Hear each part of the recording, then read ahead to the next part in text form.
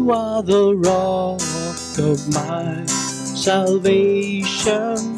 You are the strength of my life. You are my hope and my inspiration.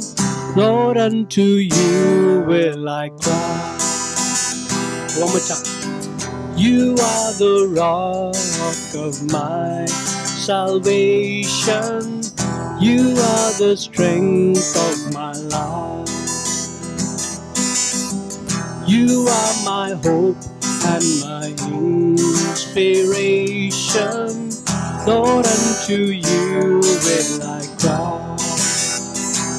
I believe in you, believe in you, for your faithful love to me. Been my help in times of need. Lord, unto you will I cleave. You are the rock of my salvation. You are the strength of my life. You are my hope and inspiration. Lord, unto you will I cry. I believe in you. I believe in you for your faithful love to me. You have been my help in times of need. Lord, unto you will I cleave. You are the rock of my salvation. You are the strength of my life. You are my hope and my inspiration. Lord, unto you will I cry.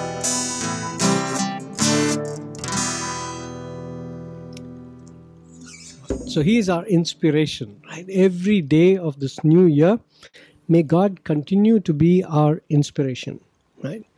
Let him be the one who prompts us to take our quiet times.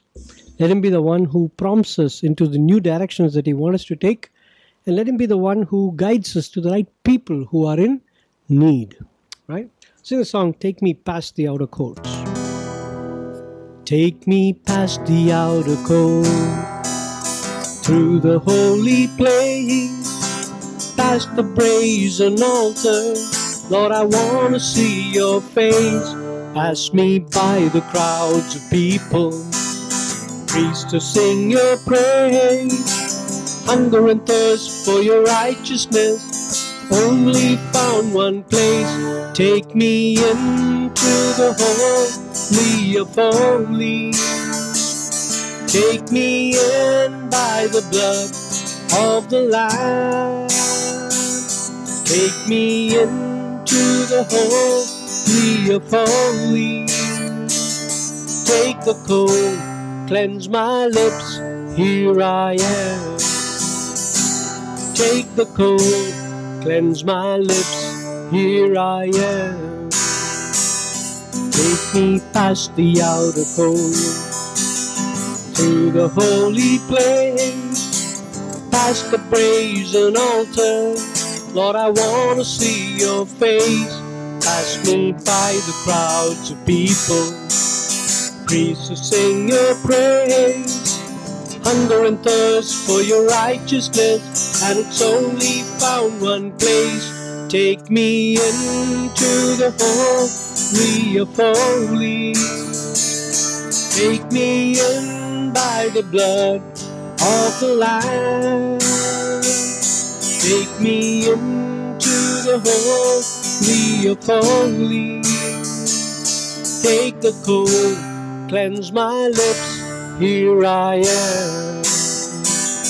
Take the coal, cleanse my lips. Here I am. Take the coal, cleanse my lips.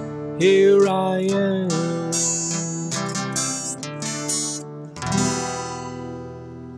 Let's pray. Heavenly Father, as we enter into the most holy place, we pray that you would cleanse our unworthy lips, our hearts. Cleanse us afresh this evening, O Lord, that we may receive your word. Help us, O Lord, to understand your word and to apply it in our lives daily. That this year would become a meaningful year in our lives. And there'll be so much to thank God for as we reflect upon what God has done for us this year. And help us to start this year with a focus on what God has planned for us in advance. God has planned for us ministry that we have not assumed, we have not guessed, O Lord Father. What God can do in each one of us and through each one of us this year. When we surrender ourselves completely to the will of the Holy Spirit, pray and commit ourselves completely into your hands. Lord, lead us to people who are in need who are thirsting and hunger for you, thirsting and hunger, hungering for your presence in their lives. Help us, O Lord, to be witnesses, powerful where you have placed us, in our campuses, in our classes, through our character, through the way that we speak, through the way that we behave, through the way that we dress. Help us to be witnesses to those who are around us. We commit ourselves afresh into your hands this evening. In Jesus' name we pray. Amen.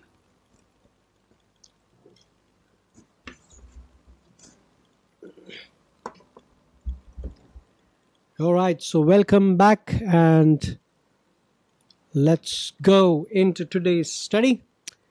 We've been looking at the nature of God all this uh, last few months of um, 2023, and we saw how God is triune, and uh, we serve one God, but we serve a God who reveals himself as one in three and three in one.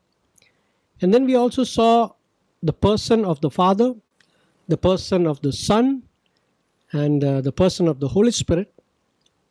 Now we're going to focus on the the book that reveals to us this God. Why do we believe this book? what is so great about the Bible that we believe that the Bible, all the things that the Bible tells us about God, how can we believe it? What is it about this book that we call Scripture that is so unique that we put our trust in Him? Everything that we know about Jesus, apart from history, we find in this book, right? Historically, He's a real person. But the evidence of Jesus being a historical person outside of the Bible is very less. It is there, but it is very, very less. But the impact of Jesus as a historical person, we see him in, in every area of, of mankind's development. No? We see his influence in literature, we see his influence in science, we see his influence in philosophy, we see his influence in theology, we see it you know in, in the lives of people, we see it in the changed lives of people. So what is it about the Bible? It has proven itself. It has, uh, you know, it has proven itself beyond time that this is a reliable book. So we're going to look at what is it that we believe and what makes the Bible a reliable source that reveals the person of God to us. Okay. So I want you to turn first to Second Timothy. That's going to be our key verse today. Second Timothy chapter 3 and verse 16 and 17.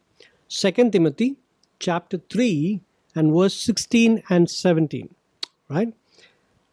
All scripture is given by inspiration of God and is profitable for doctrine, for reproof, for correction, for instruction in righteousness, that the man of God may be complete, thoroughly equipped for every good work. Okay, this is something that we prayed for today that we would be equipped for every good work that God has planned for us. Okay, let me just disable the waiting room. Okay, Nathania is joining us. Let's welcome her.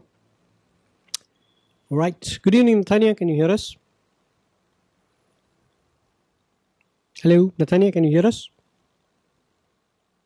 Yeah, I can hear you. So, Happy New Year Happy New Year. and Year. welcome. How was your last year? Was it eventful? Was it good? Was it bad? It was uh, really eventful because after the first time after Corona, I got out and uh, started attending college and all. So it was a good year overall. Very good. Okay. So, can you uh, recollect one thing that uh, you can thank God for last year? Um, probably my admission to college. Great. Okay. So, may God bless you with a wonderful new year ahead, right? Mm, Thank you. Right. Thank you. Okay. So, we were all recollecting one one things that happened last year and, you know, amazing things we were able to share. So, great to hear your testimony too, right? So, today we are focusing on the Bible and we are thinking about what makes this book so reliable. How can we trust the Bible? It is the source of everything that we believe. Bible teaches us that God is triune. Bible teaches us that there is a Father, Son, and the Holy Spirit. And we studied about these people, these characters, these personalities from the Bible. So how can we really trust the Bible?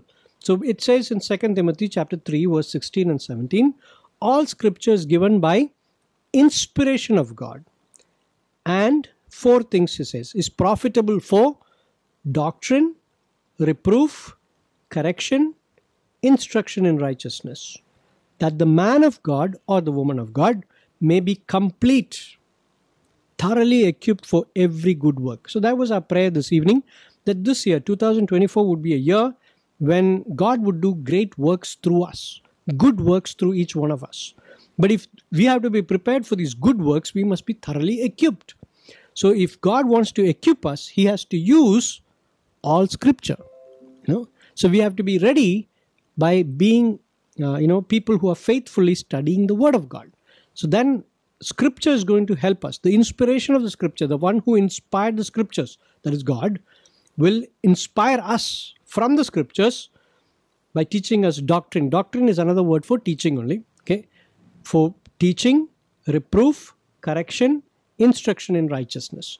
Four things that will help us to become complete and thoroughly equipped for every good work that God has planned for us. So let's start with the title. Okay, we call it the Bible. Okay, the word Bible it does not come from this text itself. It does not come anyway. Bible doesn't call it itself the Bible. It comes from the Greek word biblios. Okay, what does biblios mean? Biblios simply means book or collection of books. Okay, uh, so we call collection of books a library. No? So a library of books is what biblios is already. Okay, so um, Bible is the collection of books. There are 66 books in the Bible. You will find 39 in the Old Testament and 27 in the New. Everybody knows that, right? But one thing that we don't know is um, the Bible calls itself many names. The books that are written in the Bible they give itself different names. Like for example, turn with me to Mark chapter 12 and verse 26. Mark chapter 12 and verse 26. So you have to find out and tell me what does the Bible call itself in this text. Okay, Mark chapter 12 verse 26.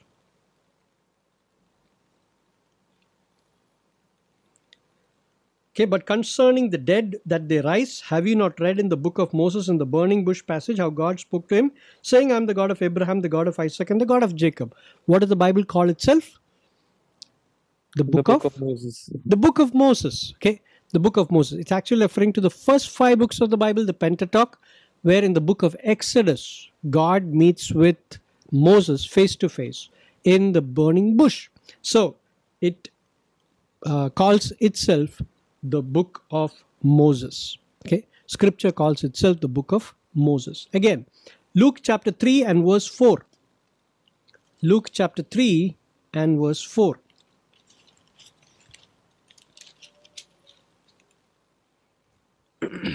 okay, can you find out what is the title given to the Bible in that? As it is written in the book of the words of Isaiah the prophet, Okay. Book of the words of Isaiah the prophets, or the book of the prophets, is something that the Bible calls itself. Again, another reference Luke chapter 4 and verse 17. Luke chapter 4 and verse 17. Scroll of the prophet Isaiah. The scroll or the book of the prophet Isaiah. You know, earlier times, we didn't have pages like this. They used to actually um, make either the dried skin of animals or papyrus uh, plant you know that it actually was a plant that grew in the water. They would take the stem of that plant dry it flatten it you know and then write on it. Okay? So those were the uh, from that only we got from the papyrus only we got this word paper. Okay? Later on when they took the paper it was actually derived from papyrus. So uh, the general idea is that uh, god uh, calls this book you know inspired book of uh, the bible. It's called the book of the prophets. Or the book of the prophet isaiah. The scroll of the prophet isaiah. Again turn with me to acts chapter 7 and verse 42 acts chapter 7 and verse 42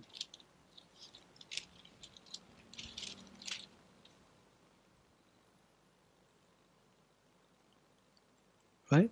Then god turned and gave them up to worship the host of heaven as it is written in the book of the prophets. Okay? The book of the prophets. Again the title that is given to the bible is the book of prophets. Why it is called the book of book of prophets? Because there are so many prophecies that are uttered in the bible. So many people say so many things about the future and it has most of them have come true. And there is so much yet to come true but we believe that the bible is a prophetic book. It's a book of the prophets. Then let's turn to luke chapter 20 and verse 42 luke chapter 20 and verse 42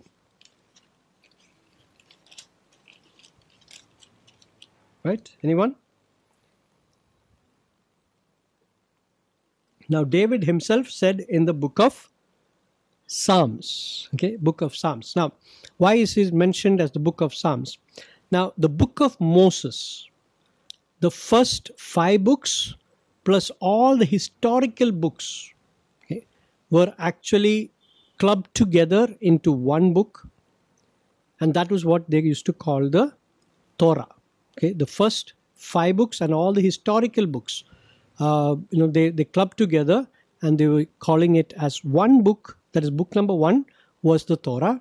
Then the book of the psalms which contained all the poetical books which they used for singing in worship and all those things they that that was the second book was the book of the psalms. And the third book that they used was the book of the prophets. Okay? So these three books torah the book of the psalms and the book of the prophets were together called the old testament scriptures although it contained the entire uh, revelation of god. Okay? So this was the complete book. The historical books the book of the psalms and the uh, prophets book of the prophets okay? So these three big uh, what do you call sc- sets of scrolls were used in the temple. They would read the old testament they would read the psalms and sing the psalms and they would also hear from the prophets okay? So these these were then explained by the religious teachers. So when by the time jesus' time came. These three books were still in in action. It was still being used.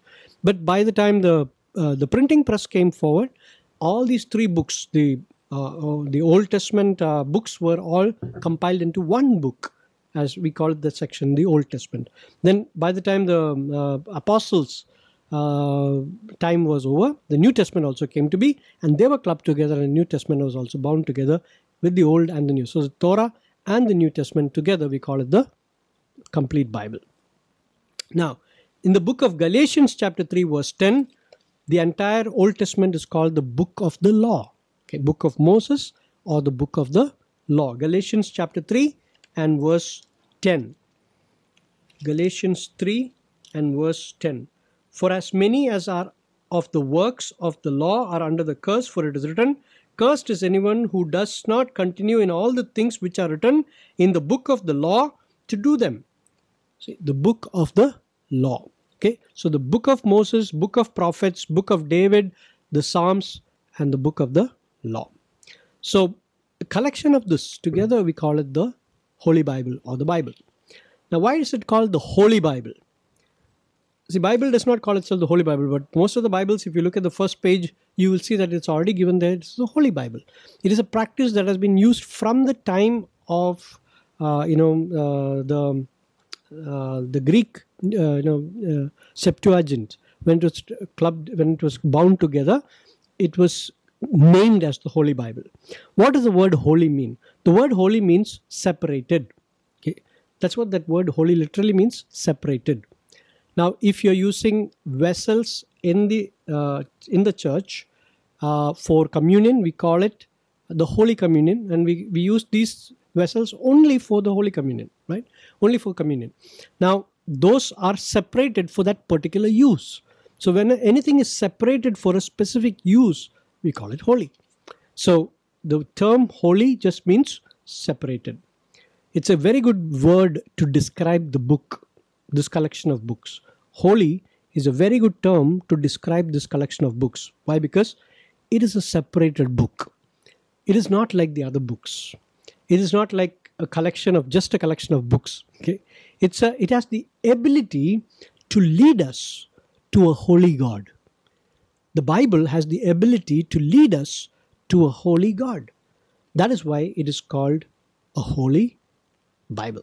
Okay, it's called a holy book because it can lead us to a holy God. Now, uh, the Bible is a holy book also because when you compare all other books that man has, okay, the, that man has written and all that, and you compare it with Bible, you'll find that the Bible sits separate. It is unique. It cannot be compared to any other writings of any other man. Right? It's a holy book because it is it is in sharp contrast to all this. Now, basically, if I'm going to write a book about, uh, say, a great person of history, I would always try to show that person's positive qualities only. I would not like to mention his negative qualities. And even if I'm mentioning any of the negative qualities, because he's my hero, I would justify his wrongdoing as a right thing. Or, you know, I would say that this is a circumstance that led him to this. It was not his fault, you know, because I want to portray my hero in a good light. But the Bible is a unique book because it gives you the negative sides of all the people that it mentions as great men of God. Okay? People like Abraham, people like Adam, people like David, even though they were great men of God, their faults and their stumblings and their fallings, everything is clearly mentioned in the Bible. It does not give any consideration to any person in that respect. Even Jesus is portrayed with uh, with uh, you know remarkable accuracy because they, they they don't show Jesus as a superhuman when it comes to the Garden of Gethsemane or the cross. No, they show Jesus in all his weakness, all his humility, all his despair, even him crying and praying and all those things. You know, and that's what the Bible is very unique. It contrasts with all other books that are written by men. It does not uh, you know uh, make superhuman characters out of any of the good men that the bible mentions about okay? None of these people are mentioned in such a good light that you know none of their bad things are hidden. It is all revealed. So bible is a holy book because it, it contrasts with all other books that are written by men. Then the people who wrote the bible were also holy men separated men holy men of god is what wrote it. Let, let me let me show you that. Second Peter, chapter one. Okay, Second Peter chapter one, verse twenty and twenty-one. Second Peter chapter one, verse twenty and twenty-one. Okay, I'm going to ask. Uh, whom should I ask? Nevin. Nevin, can you read it? Second Peter chapter one, verse twenty and twenty-one. Uh, and knowing this first of all, Hmm. that no prophecy of scripture comes from someone's own interpretation. Hmm. For no prophecy was ever produced by the will of man, Hmm. but men spoke from God as they were carried along by the Holy Spirit. Okay, so that verse actually reads. Your translation is ESV. Yes, yes. Okay. The, or, the uh, actual translation is the holy men of God. Okay. The holy men of God spoke as they were moved by the Holy Spirit. Okay. why, why, why are they called holy men? Not because they are holy in a superficial sense, because they are men who were separated for God's purpose. They are the ones through whom God spoke this. Okay, you'll find that word there in the uh, you know footnote. Okay, that uh, verse can also be translated as holy men of God. So it's a holy book because holy men of God were the human writers, right? So, and another reason why it is a holy book is because Peter, Second Peter says the same verse says it was inspired by, uh, you know, spoke as they were moved by the Holy Spirit. Inspiration means being moved by the Holy Spirit. Now, when I was listening to you know music directors, they actually have this thing. They say, okay, I did not copy a Western tune. Okay, I did not copy this music from that guy's music. I actually was inspired by that. Now, what is in their language? Inspiration is a wrong word because they pull the same tune, you know, from somebody else's album and they use it for their own song, and they they don't want to give credit for that.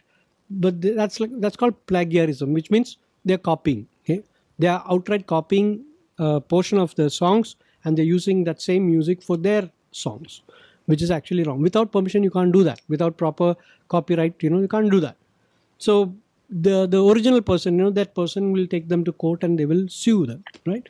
But here we see that inspiration is something different when the bible defines it. Bible defines uh, you know inspiration as being moved by the holy spirit which means that uh, example is like peter wrote this right? Peter is a fisherman. Being a fisherman he is not well learned okay? he has not gone to uh, study theology he has not gone to study uh, you know uh, higher studies in greek. He is not well qualified as a writer. Paul is. Paul is trained in um, you know theology. Paul is trained in language and all that. But peter is not well educated. But he is using greek to write his text. The same greek that he uses in the marketplace peter is using to write his epistles now what happens is the I, the talent that peter has the gift that peter has for this language the ability that peter has for speaking greek language is used by the holy spirit to give god's word through this man peter. So peter speaks on behalf of the holy spirit. Peter speaks from his experience. Peter f- speaks from his language his skills his gifts. Everything is peter's but it's being used by the holy spirit to bring out the word of god. Okay? So that is what inspiration means. Inspiration means being moved by the holy spirit. The same text that peter is writing to his audience is being used by god to reveal god's word to the people. Okay? So uh, peter doesn't have to go to college theological college you know and study theology to write this. God has already taught him. God has given him the experience. God has given him the the experience of walking with jesus and hearing him speak directly to him.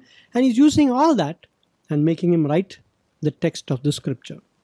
And as peter's peter writes it you know it's like uh, paul was writing to uh, say a group called corinthians. It was a church in corinth that asked a question to paul what should we do about these things? And paul was writing a reply to them. But as paul is writing does he know that he's writing scripture? Yes. But is he writing it as though it is scripture? No it is he's writing a reply to the letter that has been sent to him. But as he's writing it he knows that the holy spirit is using him to write scripture. Okay? Peter also says uh, at the end of his uh, session you say, come to second peter um, chapter 3 and uh, verse 14 onwards okay? Second peter chapter 3 verse 14 onwards. Therefore beloved looking forward to these things be diligent to be found by him in peace without spot and blameless and consider that the long suffering of our lord is salvation as also our beloved brother paul according to the wisdom given to him has written to you as also in all his epistles speaking in them of these things in which are some things hard to understand which untaught and unstable people twist to their own destruction.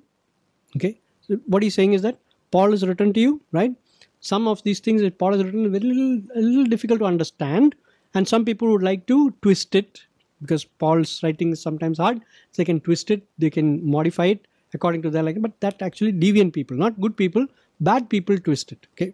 Then he says, as they do also the rest of the scriptures.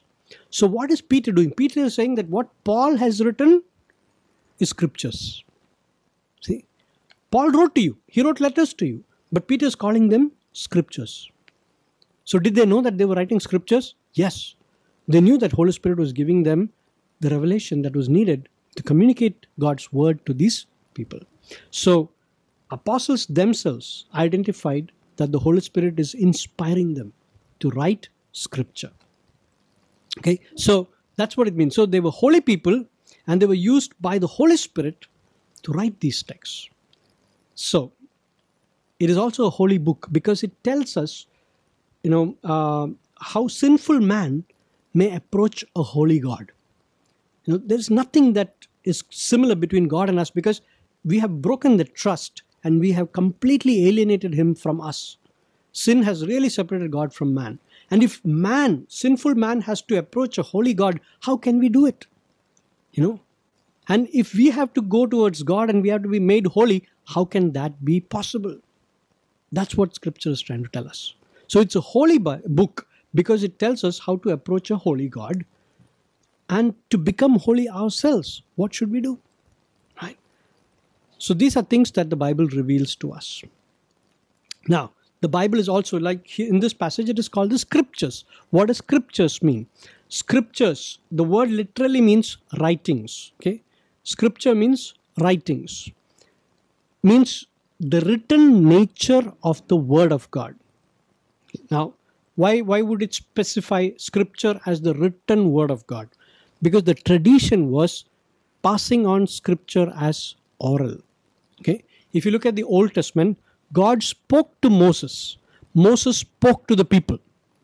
But then, after that event is over, Moses sat down and wrote what he spoke, what God spoke to him, and what he spoke to the people, and how the people responded. So, that practice of writing down that made it scriptures. Okay, so what you have in your hand is the scriptures, which means the written word of God, which was initially the spoken word of God. The oral tradition was passed on from tradition to tradition, from people to people. The oral word of God was passed on. But then the men of God who sat down and wrote it made it the scriptures. Okay, so Moses was the first one uh, to have written about creation. But the first book that was ever written in the Bible was written. Most most scholars say that it was Job. Right, Job was the first book that was ever written. But it also speaks about great things like offering sacrifice, you know.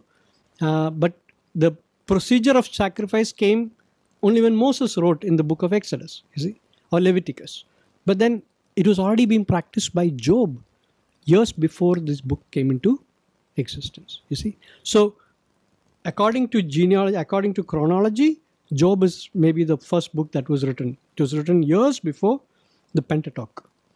But the Pentateuch was written by Moses, tradition holds on to that view, and Joshua, of course, because uh, the death of Moses is also mentioned in the first five books. So we assume that it could be Joshua also who completed the book. But the tradition was always these commands were passed on orally. People heard it, they spoke it, and then they wrote it down as scriptures. So the word scripture literally means writings. Those were oral traditions that were passed on generations and they were written down orally. Okay. Otherwise, Moses would never have known what happened in creation. Who was there to explain it to him? Most probably, Adam would have explained to his, you know, descendants, and that, those descendants would have passed it on to uh, Moses, and Moses would have written it down. So the oral tradition was passed on, and that was written down. Once it was written down, it was referred to as scriptures, which means writings. Literally, it means writings.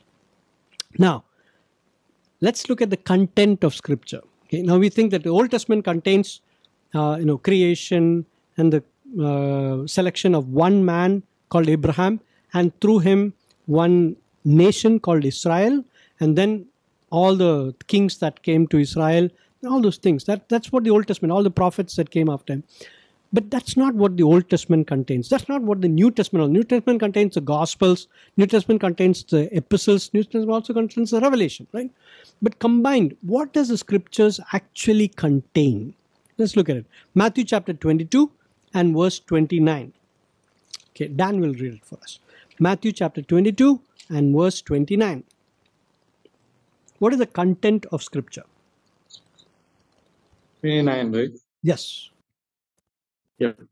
Jesus replied, You are in error because you do not know the scriptures or the power of God. At the resurrection, at the resurrection, people will okay. Uh, you are mistaken, not knowing the scriptures nor the power of God. Which scriptures did Jesus read? Old Testament. The Old Testament, right? He had the book of the prophets, he had the book of the Psalms, and he had the Torah, right? The historical books altogether.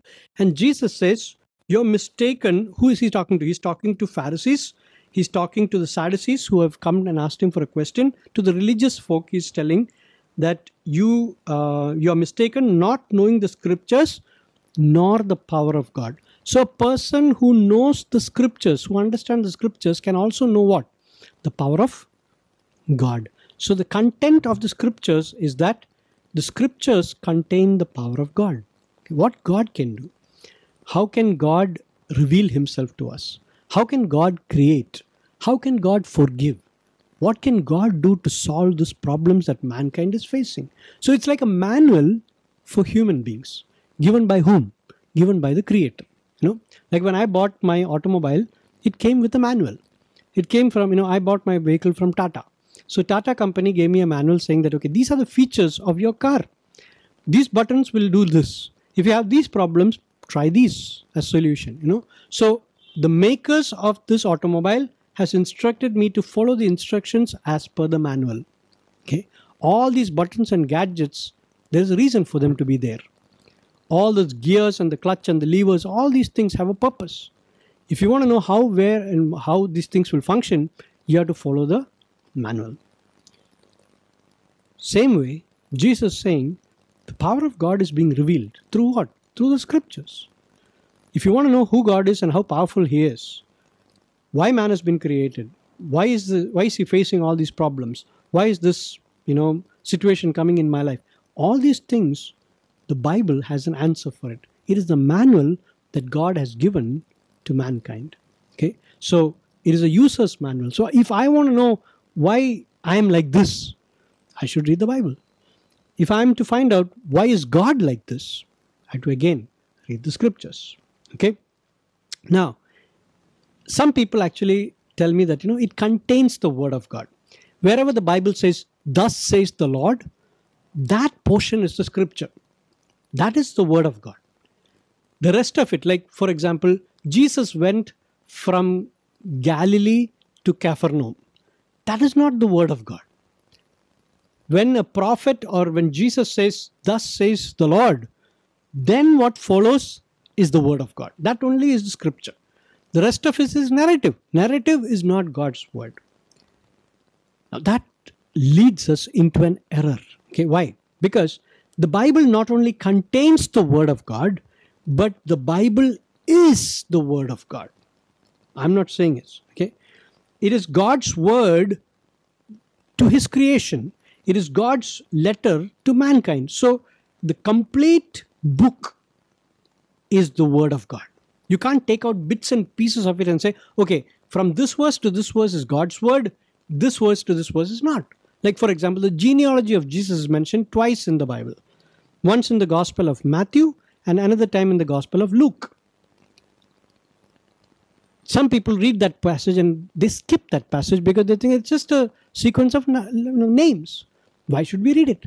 And they don't read that passage. Why? Because that can't be the word of God. Why would God put a list of names there? See?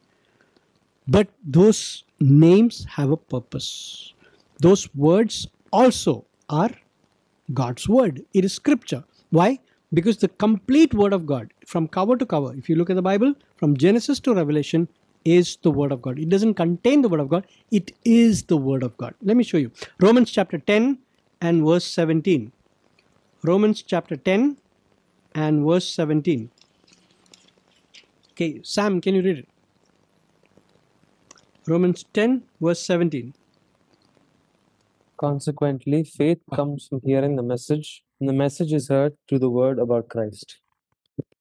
Uh, message is heard. Through the word about Christ. Word of our Christ. Huh? The word about Christ. Okay. Which translation is that? NIV.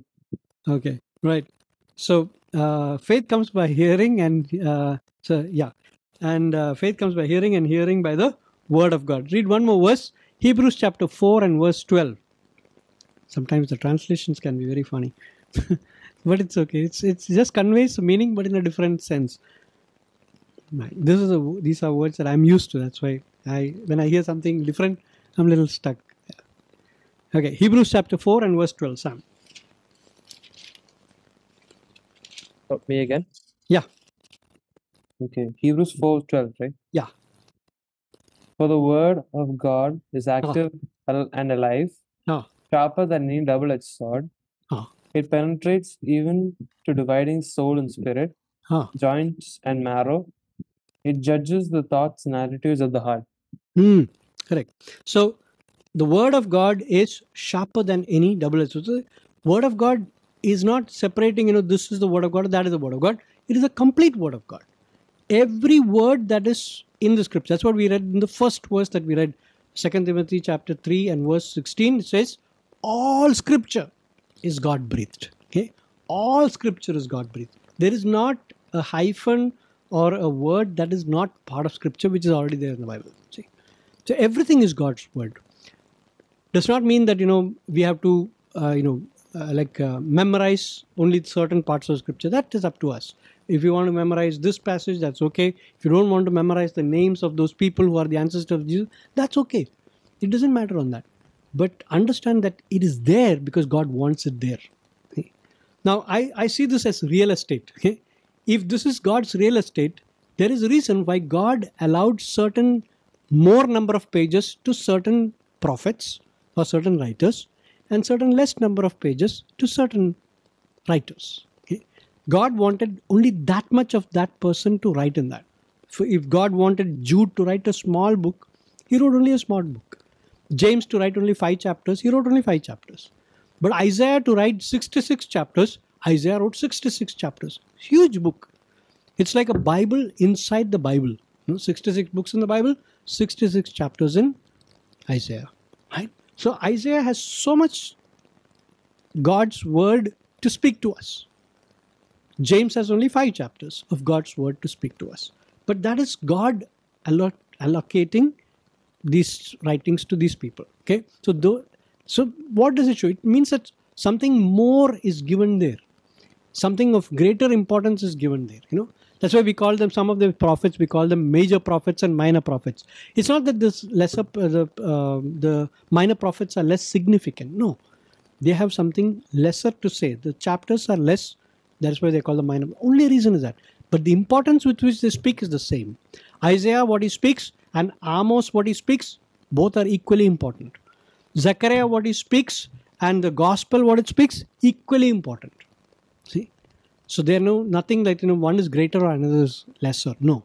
All scripture is God breathed. The whole thing is God's word. First Thessalonians chapter 2 and verse 13. First Thessalonians chapter 2 and verse 13. Yes. For this reason, we also thank God without ceasing, because when you received the word of God, which you heard from us, you welcomed it not as the word of men, but as it is in truth the word of God, which also effectively works in you who believe. You see? So, who was speaking this? Paul was speaking to the Thessalonians, and he says, Because when you received the word of God, which you heard from us, they spoke the gospel to them. And these people received the gospel. And what happened? He says, You did not receive it as words from men, but you received it as the word of God, which in truth it is. See, the words that we spoke to you is God's word. See, so the word of God is the entire scriptures. There's no portion that you can take out as saying unimportant, not God's word. No. It does not contain the Word of God, it is the Word of God. That's the difference. Now, let me end with this. Because the Bible is the Word of God, it reflects the nature of God. Okay? Because the Bible is the Word of God, it reflects the nature of God. Okay? Now, what do I mean by that? I what I mean is that, see, a person's word and a person's character is synonymous. Okay, it's like saying, okay, if Mancharan said this, he will do it. Okay, or if he has promised it, then he will do it. no? That means I'm only as good as my word. If I give you a word and I don't keep that word, then you'll say, oh, can't trust that guy because he doesn't keep his word. So my nature is revealed through the words I speak. Now, if I'm teaching the word of God, or if I'm teaching you how to behave, and I behave in the opposite way, you'll say, can't trust this guy because he preaches something which he does not practice. You see? But a person's word and his nature are synonymous. Okay? That's why we, we always say, you know, don't trust every preacher. Observe him. How is he? Does he practice what he preached? The same way, the word of God, it is holy and it it expresses or it shows us the character of God, the nature of it reflects the nature of God. Okay, so the Bible is the word of God, and because it is the word of God, it reflects the character of the person who has spoken it. That is God, right? So why? Because a person's character and his word are synonymous. Okay, I'll give you an example and we'll close with that. First Corinthians chapter 1 and verse 9. First Corinthians chapter 1 and verse 9. Okay, Nevin, can you read it? Uh, one, First Corinthians 1, 1, and 1 verse 9. Yeah. um, God is faithful, by Ah. whom you are called into the fellowship of His Son, Jesus Christ our Lord. Correct. God is faithful who has called you, right? Uh, God is faithful by whom you were called into the fellowship of His Son, Jesus Christ our Lord. So, just like how God is faithful, His word is faithful. God's word, if it promises something, it will never go back. It will always be yes and amen in Jesus Christ. So, God is faithful, God's word is faithful. Okay. First Peter chapter 1, verse 22 and 23. Nathania, can you read it? First Peter chapter 1, verse 22 and 23. First Peter chapter 1 verse 22 and 23. Okay. Now that you have purified yourselves by obeying the truth, so that you have sincere love for each other, love one another deeply from the heart, for you have been born again, not of perishable seed, but of imperishable, through the living and enduring word of God. Okay. Through the living and enduring word. So just like how God is imperishable, his word is also imperishable. God is incorruptible, his word of God is also incorruptible. Okay. So again, one more. First Peter chapter 1, verse 25. done First Peter chapter 1, verse 25. But the word of the Lord endu- endures forever. Ah. And this is the word that was preached to you. Okay, so here the word of God is eternal. Okay, just like how God is eternal, the word of God is also eternal. Okay, so that's the way Scripture actually reflects God. So God is faithful; His word is, uh, you know, faithful. God is incorruptible; His word is incorruptible. God is eternal; His word is eternal. Okay. Now, when you say God is powerful, what would be the word of God? Again, the word of God would be powerful. If God is holy, then the scriptures are holy. If God is creative, then his word is also creative. Psalm 33, verse 6. Psalm 33, verse 6.